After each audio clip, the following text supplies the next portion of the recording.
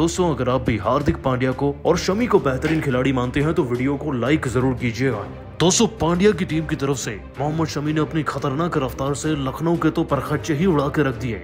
और कैसे के राहुल को पहली गेंद पर आउट करने के बाद एक के बाद एक शमी ने अपनी रफ्तार से पूरी लखनऊ की टीम को ताश के पत्तों की तरह बिखेर के रख दिया। ये सब तो आपको दिखाएँगे ही, लेकिन उससे पहले आप सभी को क्या लगता है? पांड्या और के राहुल में बेहतर कप्तान कौन है, नीचे कमेंट करके ज़रूर बताइएगा। दोस्तों आईपीएल 2022 का अब तक का सबसे बड़ा मुकाबला लखनऊ और गुजरात की टीम के बीच में वानखेड़े के मैदान में शुरू हो चुका है। आपको बता दें कि हार्दिक पांड्या और के राहुल दो दोस्त आज एक दूसरे के सामने हैं। पांड्या गुजरात टाइटंस के ऑफिशियल कप्तान बनकर मैदान में दिखे। वहीं केएल राहुल भी अपनी पलटन के साथ मैदान में उतरे हैं। वानखेड़े के मिट्टी से पांड्या तो अच्छे से जुड़े हुए हैं और भली बाती जानते हैं, इसीलिए टॉस जीतकर पहले गेंदबाजी चुनी और गेंदबाजी भी क्या खूब रही दोस्तों गुजरात की टीम की। हम सभी जानते हैं कि पंजाब की टीम की शान रहे कभी मोहम्मद शमी। अब पांड्या की टीम को ज्वाइन कर चुके हैं। करोड़ों में बिके मोहम्मद शमी ने अपने आईपीएल की शुरुआत के पहले ओवर की पहली गेंद पर ही सबको बता दिया कि वो आखिर क्यों दुनिया के सबसे बेहतरीन गेंदबाजों में शुमार हैं। पांड्या ने भी शमी पर भरोसा जताते हुए शमी को ही पहला ओवर थमा दिया और शमी के सामने तैनात थे लखनऊ सुपर जॉइंट्स के कप्तान व सबसे धुआंधार बल्लेबाज के राहुल।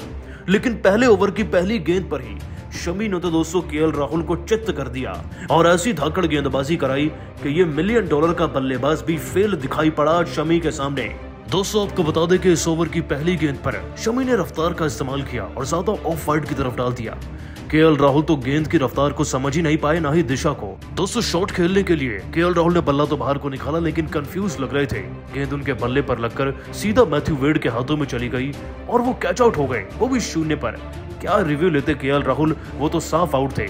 और फिर मैदान से मुँह लटकाकर के राहुल बाहर निकले शून्य के स्कोर पर। ज़ीरो रन थे स्कोरबोर्ड पर, दोस्तों, सोचिए। और पहला विकेट था पांड्या की टीम के हाथ में।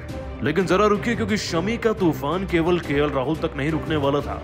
उन्होंने तो पूरी लखनऊ की टीम को उजाड़ने का जिम्मा उठाने का कदम उठा दिया था।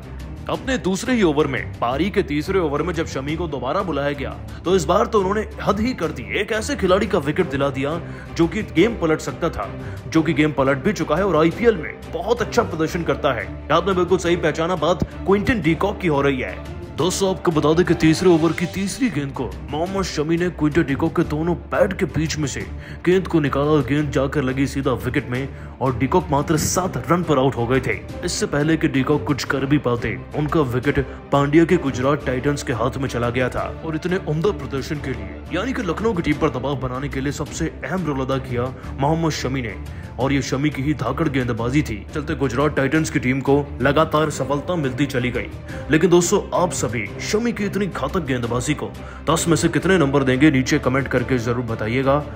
दोस्तों, टॉस के दौरान भावुक नज़र आई हार्दिक पांड्या, लेकिन टॉस के दौरान कुछ ऐसा कहेगा के राहुल के लिए और पूरे आईपीएल के बड़े खिलाड़ियों के लिए कि सुनकर शायद आप भी उन्हें सलाम कर जाएँगे। क्या बोले हार्दिक पांड्या? ये तो आपको बताएँगे ही, लेकिन उससे पहले आप सभी को क्या लगता है? आज का मुकाबला कौन जीत रहा है? हार्दिक पांड्या या के राहुल की टीम? नीचे कमेंट करके ज़रूर बताइएगा। दोस्तों आईपीएल दो का आगाज़ सही मायने में तो आज से होने जा रहा है। ये नए युग के आईपीएल में आज तो नई टीमें आमने सामने हैं। वानखेड़े के सुपर स्टाइलिश मैदान में आज दो स्टाइलिश टीमें ही तो भिड़ रही हैं। गुजरात की टीम, जिसकी कप्तानी को संभाल रहे हैं ऑफिशियल हार्दिक पांड्या, और दूसरी तरफ़ है लखनऊ सुपर जायंट्स की टीम, जिसका नाम थोड़ा पुराना ज़रूर लग रहा है, लेकिन टीम नहीं है एक दमदार कप्तान के साथ। के राहुल, जो कि पंजाब की कप्तानी संभालते थे, अब हमें लखनऊ की कप्तानी संभालते नज़र आएँगे। इसीलिए ये मुकाबला खास इस वजह से भी है, क्योंकि दोनों बहुत ही गहरे दोस्त हैं। तो उन्होंने साथ क्रिकेट खेलना शुरू किया, भारतीय क्रिकेट टीम का नाम रोशन किया और आज एक दूसरे के सामने अपनी टीम लेकर तैनात हैं। इतना ही नहीं दोस्तों, हार्दिक पांड्या के भाई कृणाल पांड्या, जो कि सालों से उनके साथ ही खेल रहे थे मुंबई में, वो भी लखनऊ की टीम से खेल रहे हैं। इवन दीपक हुड्डा भी हैं लखनऊ की टीम में। मुकाबला मसालेदार और कांटेदार क्यों है, अब तो आप लोग समझ ही गए होंगे। चलिए बात करते हैं मुकाबले के टॉस की। तो दोस्तों, जब टॉस हो रहा था, हम सभी जानते हैं कि मैदान में ड्यू बहुत ही बड़ा फैक्टर प्ले करती है। जिसके चलते हार्दिक पांड्या टॉस तो जीत गए और अपनी टीम के लिए पहले गेंदबाजी भी चुन ली, लेकिन इससे पहले कि वो अपनी टीम के बारे में कुछ बोलते, उन्होंने भावुक होते हुए कुछ ऐसा कहा कि सबका दिल ही जीत लिया। तो दोस्तों, हार्दिक पांड्या ने अपने बयान में क्या कहा, चलिए आपको बताते हैं। एक नई टीम ज़रूर है, एक नया रोल भी है मेरा, लेकिन मैदान तो वही पुराना है। भले ही गुजरात को बिलोंग करता हूँ, लेकिन इस मिट्टी पर सालों से खेला हूँ और पहचानता हूँ कि इस मैदान पर हमारी टीम कैसे जीत सकती है। लॉकी फर्ग्यूसन, राशिद खान और डेविड मिलर टीम का हिस्सा हैं। लेकिन मेरे दोस्त, मेरे भाई के राहुल, दिल से दुआ करता हूँ कि आपकी टीम भी अच्छा प्रदर्शन करे और ये एक रोमांचक मुकाबला बने हमारे सभी फैंस के लिए। काफ़ी भावुक भी हूँ, क्योंकि एक लंबे अरसे के बाद मैदान पर खेलने का मौका जो मिल रहा है। लेकिन अपने फैंस के लिए तहे दिल से प्रदर्शन करने का पूरा पूरा प्रयास करूँगा। शुक्रिया अदा करना चाहूँगा रोहित भाई व मुंबई इंडियंस की टीम का व धोनी भाई का भी, जिन्होंने अपने करियर में मुझे काफ़ी कुछ सिखाया है। दोस्तों, हार्दिक पांड्या इसके बाद के राहुल से गले भी मिलते नज़र आए थे। आपको बता दें कि ये पहले ही तय हो गया है कि दोनों खिलाड़ी अपनी अपनी जर्सी बदलेंगे मैच खत्म होने के बाद। दोस्तों, पांड्या भले ही भारतीय क्रिकेट टीम से बाहर चल रहे थे, लेकिन उन्हें हर किसी ने मिस किया। अब कप्तान बनकर पांड्या वापस से लौटा है, लेकिन आप सभी को क्या लगता है? आज पांड्या की गुजरात टाइटंस जीतेगी या फिर के राहुल की लखनऊ सुपर जायंट्स नीचे कमेंट करके ज़रूर बताइएगा। दोस्तों आरसीबी की टीम की इतनी बुरी हार के बाद भावुक हो गए विराट कोहली। लेकिन गुस्से में वो सभी कारण बता दिए जिसके चलते आरसीबी की टीम इतना बड़ा स्कोर बनाने के बावजूद नहीं जीत पाई। क्या बोले विराट कोहली अपने बयान में? ये सब तो आपको बताएँगे ही, लेकिन उससे पहले आप सभी को क्या लगता है? आरसीबी की टीम की हार का सबसे बड़ा कारण क्या रहा? नीचे कमेंट सेक्शन में ज़रूर बताइएगा। दोस्तों आईपीएल 2022 का सबसे पहला हाई स्कोरिंग व धमाकेदार मुकाबला आरसीबी और पंजाब की टीम के बीच में खेला गया। आपको बता दें कि इस मुकाबले में आरसीबी की टीम की तरफ़ से सभी खिलाड़ियों ने तोपों की सलामी दे डाली पंजाब की टीम को। इतनी धाकड़ बल्लेबाजी करी के स्कोर सौ नहीं, डेढ़ सौ नहीं, बल्कि दो सौ के पार जा गया। आपकी जानकारी के लिए बता दें कि डुप्लेसिस ने सबसे ज़्यादा अठासी रन बनाए, वो भी बड़े तूफानी स्ट्राइक रेट से। उनकी पारी में सात छक्के इन्वॉल्व थे। विराट कोहली ने भी लगभग 25 से 30 गेंदों के अंदर इकतालीस रन बना दिए और दिनेश कार्तिक का तो क्या ही कहना। 19 गेंदें खेली और पूरे 32 रन बना गए। दोस्तों इन तीनों की तिगड़ी के चलते आरसीबी की टीम को इतनी मजबूती मिल गई कि वो 205 तक पहुँच गए। जीतने के लिए अब पंजाब की टीम को पूरे 206 रन चाहिए थे। लक्ष्य अपने आप में ही कितना ज़्यादा भीमकाय है। हर कोई देखकर अंदाज़ा लगा सकता है। लेकिन मयंक अग्रवाल की पलटन ने हर किसी को ही गलत साबित कर दिया। दोस्तों, मयंक अग्रवाल धवन के साथ ओपनिंग करने के लिए उतरे। उन्होंने लगभग 30 से 32 रन बनाए। दूसरी तरफ़ शिखर धवन भी लगभग तिरतालीस रन के आसपास लगा गए। दोनों खिलाड़ियों ने मिलकर 70 से 80 रन तो बना ही दिए थे। लेकिन एक अच्छी और तूफानी शुरुआत टीम को दिलाई। लेकिन बीच में श्रीलंकाई खिलाड़ी भानुकर राजपक्सा एक अच्छी कैमियो पारी खेल गए। बाईस गेंदों में तिरतालीस रन लगा दिए। इसके बाद लिविंगस्टोन ने भी अच्छी पारी खेली, लेकिन ये सब खिलाड़ी आउट हो चुके थे। और बल्लेबाजी का सारा दारोमदार शाहरुख खान और ऑडियंस स्मिथ के कंधों पर आ गया। 18 गेंदों में लगभग 40 रन चाहिए थे।